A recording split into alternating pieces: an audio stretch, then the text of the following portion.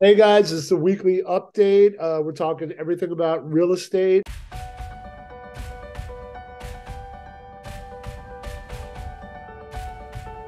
Honored guest, as always, David Baum from Cross Country Mortgage. A good friend, how are you? Doing great, Peter. How are you? Good morning, are you everybody. Getting, are you getting deals closed? That that's that's the simple question in this market.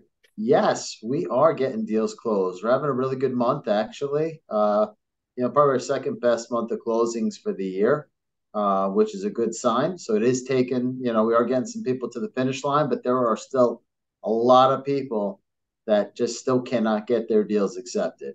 Um, and more people every day are trying to get pre-approved and get into the market. So it's making you know more challenging that more people want to get into this market and still limited inventory. So um, you know we're still having those challenges, and it's going to continue to be that way until inventory breaks. Yeah, and I just don't see that happening. I mean, um, throw out some stats. I mean, I don't have any charts on me. Uh, somebody could fact check me on this if they want, but it's um, what is it? Fifty percent of people uh, have more than fifty percent equity on their home, uh, if not uh, completely paid off. Yeah, I mean, a, a, lot of people do have um, equity in their home right now. Um, people that have refinanced, obviously, in the past couple years, they're um, they're if they're not going to be moving, they're looking to be doing work to their homes right now. So they are looking obviously tap into their equity. You know, whether it's line of credits or some other things to obviously can stay in their home. Because um, some people just don't want to make that transition until maybe rates do come back down, and that's hurting the inventory. But uh, an interesting fact you were talking about was just, um, I think in Monmouth County alone, right? Over 50% of the homes, I think, are over 900,000, I think, something like that, that you said? Yeah. So uh, somebody, and I'll give kudos to Jacqueline Greco uh, over at Compass. She threw out this stat, and I thought it was pretty interesting. She was saying that 50% of the homes, homes, not condos, right. not adult communities, single are, family, yeah, single family are over 900,000. Um, and, you know, stats don't lie. Um, it's not a good market for, you know, somebody that's looking for a first time home. We're getting it done. Um, we just closed the VA loan, right? Yeah. Um, we had some issues with the appraisal, but at the end of the day, I just listed something in the same development, got, you know, something higher than his three bedroom was for a two bedroom. So, yeah, the comps are just an appraisal. Yeah. It, the comps are just taking a little bit longer, but I was so happy to call him to tell him that, hey, guess what? You know, we're going to have really good comps for you. Just, you know, and again, people get a little deflated um, when the comps aren't there when they purchase. Right. It's if you don't buy it, somebody else is willing to buy it. That's why there's 10 offers on the house. Yeah. it really comes down to terms. Um, I, you know, we were talking about this, you know, it's, uh, you know, if you can put down 20%, maybe you only put down 15%, you know, and use it as a buffer in case the house doesn't appraise or just to kind of give you you know give the seller more assurances that you know you're you're you're a legit buyer you want to move forward. I mean this is nothing that nothing different in my mind that we've dealt with in mm-hmm. the last two years. It's just less inventory. Yeah i mean we're um like you said from a point you know a lot of buyers what we're hearing is gosh you know what i'm you know i only feel like this is what it's worth or this is what i'm comfortable with or what i think it is worth. But if you've got you know 10 15 20 offers it's whatever that one person one out of those 20 it's what they what what they're willing to pay for it right. you know ultimately. And if it's more or better terms than what unfortunately a client is thinks that that's all it's going to take they may not win the bid you know? And it is um pushing maybe that comfort level for some people you know? But those people that are pushing it they're unfortunately, I mean, they're the ones that are winning the homes and they're realizing that, you know, this is hopefully, right? No guarantees, but hopefully this is a short lived term scenario where they'll be able to refinance in a couple of years. And the ones that are not really worried about where the rates are, they're the ones that are winning, besides cash offers, right? right. Because, you know, cash is king from that perspective. But the people that get it, when when yeah, well, what's the rate? They don't care what the rate is. They just want to get the house. They can't refinance a house that they don't own, right? So a lot of times they're just the rate's the rate, you know, and they'll worry about trying to, you know, have better terms in the future and save more money that way. But at least they're doing whatever they can to get that place because they don't want to pay rent or they don't want to live with their in-laws or something of that nature that they have that um, that burning desire that they have to get that house now because it's so challenging and they don't want prices to keep going up well i mean you know we, we go through the scenarios right? It's like what what could possibly happen right? It's um you know the big one for me is prices go down i should say interest rates go down right? And it just puts more people into the the, the feeding frenzy right? It's i think that there's another stat where it's what is it? Um the percentage of people that are paying 4% or less on their mortgage, right? It's really high. It's it's super high. I got to look that one up. Um uh, I mean, yeah, I mean the majority of people that could refinance, right? Some people may not have been able to, whether it's credit, whether it's, you know, some other factors, they might not be able to take advantage, you know, during that process, but the majority of people absolutely took advantage during COVID, you know? Right.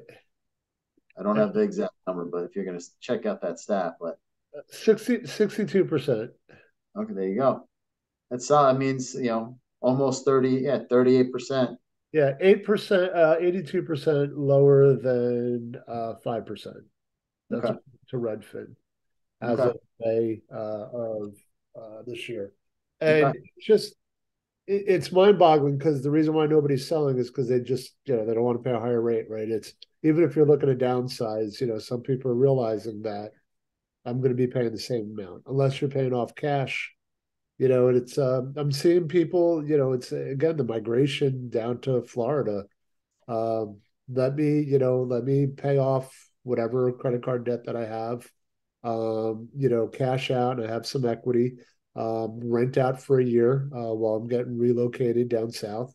And we have plenty of great agents. Uh, I want to give a shout out to Alexis Silva, who just sent me a referral of a guy that's selling a brick uh, that's moving down to where the rest of his family is down in Florida. So there you go. Yeah, yeah. a lot of people. I'm, we're seeing a lot of transplants. You know, heading unfortunately out of the great state of New Jersey. Um, you know, Florida, Texas, North Carolina. You know, the Carolinas. A lot of people are heading down there um, you know, just other opportunity. There's a lot more new construction down there, you know, and there's still uh, not gazillion, you know, tons of uh, inventory, but there is more, um, you know, just from a perspective of they've got more land available, you know, and we've seen a lot of new construction in those states. Yeah. And I want to give like, you know, again, we're we're a little gloom and doom right now if you're a buyer. But the reality is, like, we're still closing deals. You were talking about having the best month. I closed two deals. I just went under contract on two more deals. One of them was a buyer.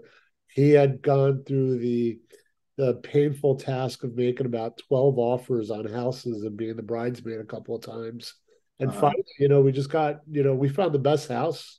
Uh-huh. Um, for, you know, out of all the houses that we made an offer on, this is the best house. And mm-hmm. he's through the roof, right? And it's kind of like, don't give up um because you never know the the one house that you don't think you're going to get you might get um, yeah yeah i mean yeah it's, it's definitely not all doom and gloom. I mean i had a some really good success stories right? I had someone they made they made 20 offers literally on houses. Right. um the 19th place that they made an offer on they were second in line. Their 20th offer got rejected. The 19th offer came back to them because that buyer backed out. Now, these people were they were the second best offer, but their terms were only 3% down and they were getting the state grant of $15,000. Got that accepted, got it closed in relatively in about 30, 31 days with the state grant program was fantastic. The client was ecstatic. Um, actually got part of his upfront deposit back because it covered everything. So good a good win on that. And um, you know, a couple other clients that had, you know, 10, 15 offers during the process ended up closing them last week. And another person, she's been looking for a year and a half she just got an, an offer accepted, uh, and it's in attorney review yesterday. So there are good things happening. Um, it's just it, it's taking longer sometimes for these buyers, unfortunately, because there's just so many clients out there looking. And, and, listen, you know, this is what I'm telling. Like, I'm I'm caught the car the real estate carousel. Everybody's moving now, um, and it's just kind of funny because, you know, it's there's deals being done. Um, you know, I, I I'm not having the best year of my life, but I'm not having a bad year either. Mm-hmm. Uh, and the reality is, like, I'm I feel like I'm helping. You know, whereas even the investors are just pumping the brakes a little bit, but the rest of it is pretty good. And you know, there, there's there's a lot of off market stuff, as they say, right? Um, people that are thinking about selling, you know, they're they're getting their kids involved, and uh, uh, we we got a special guest here. My my daughter's coming in. Oh, Say, all right. Hold School's on. over. Hello. School's out for summer. so yep. so anyway, um, you know, it's just you know, stay positive. I think the market's just fine. I think it's healthy that it's this way. Mm-hmm. And it gets rid of a lot of the riffraff, right? You know, mm-hmm. uh, people that are looking to sell, they're real. People that are looking to buy, they're real. So it's a uh, it's a good market. So yeah, I mean it's it's uh, at some point in time. Remember, it's not going to be this way forever. It's just when's that breaking point going to happen? I mean, nobody knows, right? It's not happening overnight. That's for sure. Well, you know, it, we're in this. For, we're in this for the long haul. We so, had a conversation before COVID. The market was going to turn then.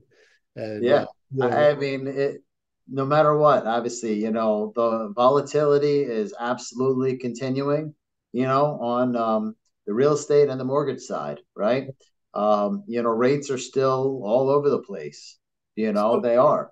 Um, are you, you know, are you still seeing some like um, people trying to do you know like 20 year loans or like some some sort of like uh, variable rate type stuff or anything like that? Yeah i mean people are looking for adjustable rate mortgages. People are looking for 30 year fixed. Obviously 15 or 20 i mean maybe a little lower rate.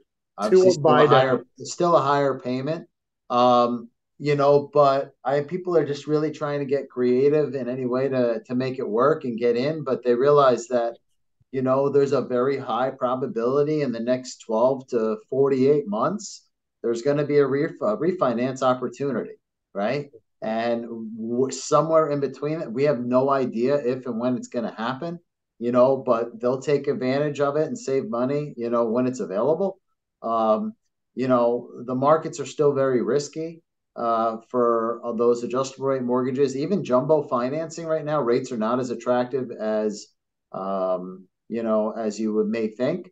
Uh, I was talking to some pretty savvy people last, you know, a couple days, and uh, they're just saying I think the um, the commercial space that a lot of the institutions have money tied up in right now are also causing the risk layers in the high volatility of interest rates because you know a lot of you know um, office space and leases people are trying to get out of their leases. People are trying to do different things where you know the large institutions that have financing like i said on these on these units and spaces if they're um, if they don't have full tenant utilization you know it makes their you know their assets and things of that nature you know a little more risky which in turn if they're lending off of you know the securitization of that that could you know lead to continuation of you know just volatile rates.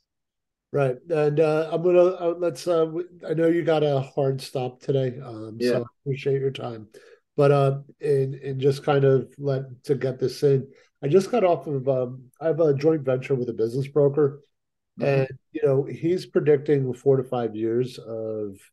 You know, you're going to see a lot of businesses. It's going to be prime opportunity. Uh, the real estate market. You know, if you're looking for investment opportunities, there's good businesses that are just, you know, they're they're priced out or you know people are getting burnt out uh, because they can't keep up with this. But mm-hmm. by no means does that mean that they're not good businesses. Um, yeah. So you know we're going to be doing a home seller seminar. I definitely want to plug that. It's either going to be on the uh, July 10th or the 17th. We'll come out with more notes. Love to have you there as well, Dave. Um, okay you know, because we really want to put together an exceptional team just to answer any questions that they might have. Sure. Uh, how do people get in contact with you? We'll we'll put this on the bottom, but uh, yeah, uh, give me a buzz, shout, text uh, 732-853-4969 or email david.baum at ccm.com. All right, man. I appreciate your time and I'll catch up with you next week. All right, bud. Thank you. All right. Take care, Peter. Have a great day, everybody. Thanks.